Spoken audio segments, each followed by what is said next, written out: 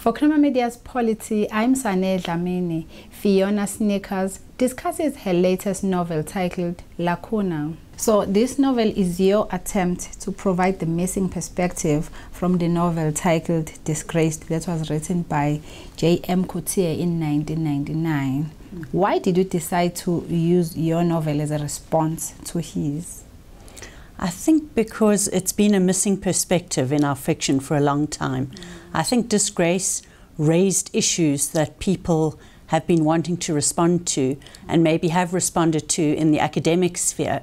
There have been a lot of academic responses to the book, but another fictionalized, imaginative response to the book um, has been lacking so far.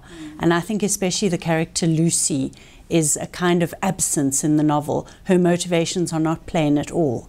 And that was something that I wanted to fill in with my book. Mm. Should a male writer have the authority to write about a female rape survivor as he did?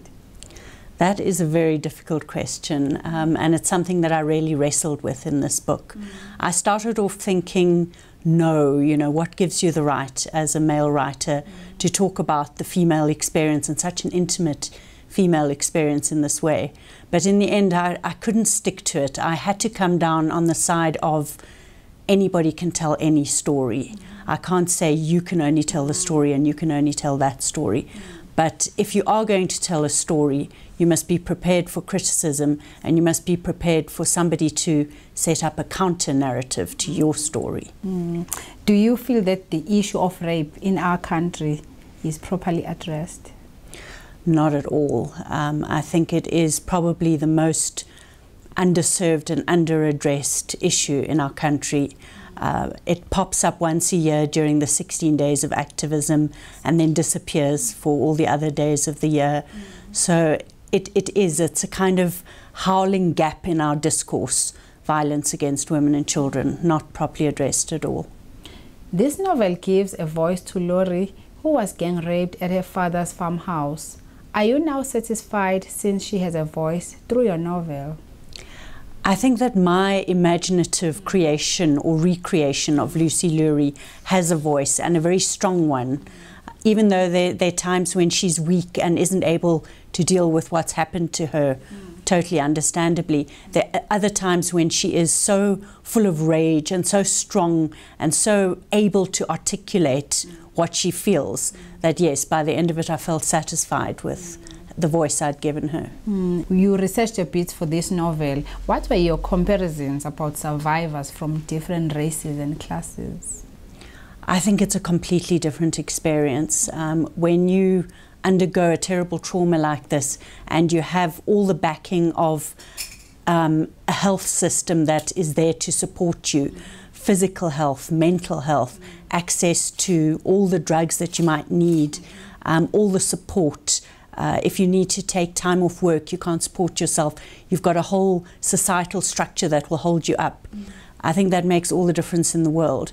But there are so many women in South Africa, mostly black women, mm. who have got zero support. Mm. They will take the consequences of what's happened to them without any support except maybe some family support.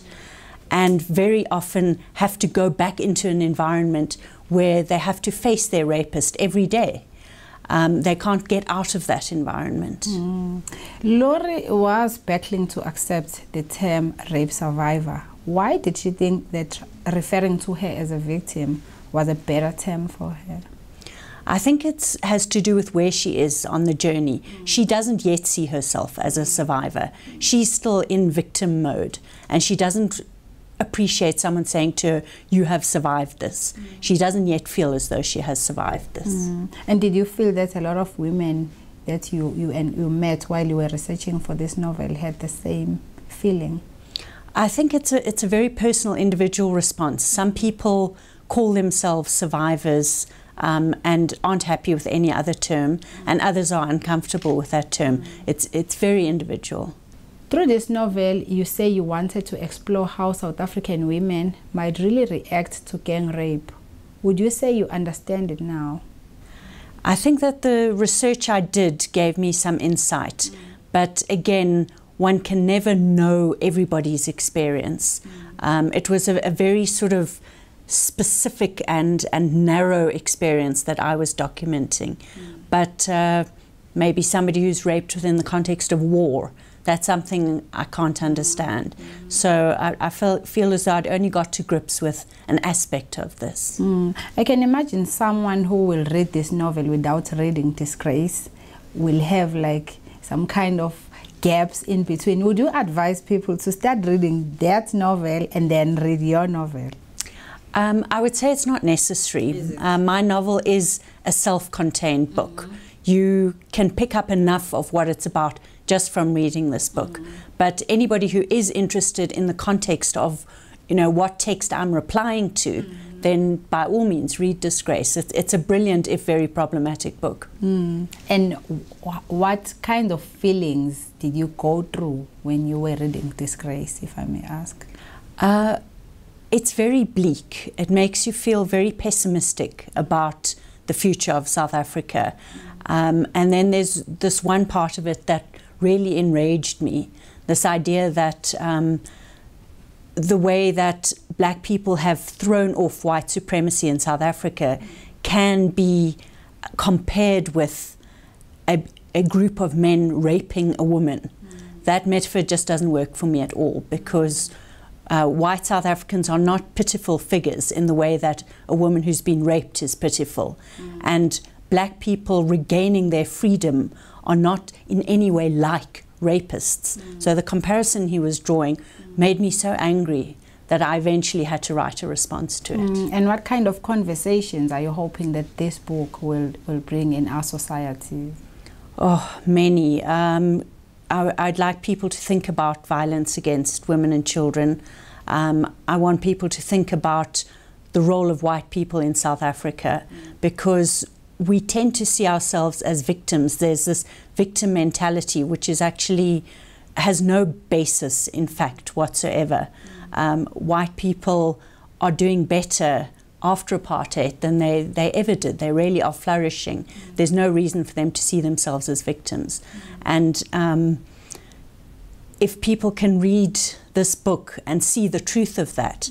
Then I would feel as though I've accomplished something. Mm, and lastly, any feedback from J.M. Coetzee? No, none whatsoever. Um, I believe that the book was sent to him, or an earlier version of the book was sent to him um, early this year, but there's been no response. He is famous for remaining quiet. Um, he, the words that he puts out are in the form of novels. Mm-hmm he isn't much of one for giving interviews and giving responses and things like that. Mm. So I'm not expecting a direct response, mm. which is fine because my book is not a response to him, it's a response to his book. Exactly. So the two books are now hopefully in conversation with each other. Mm. Thank you very much for your time. Thank you. Thanks so much.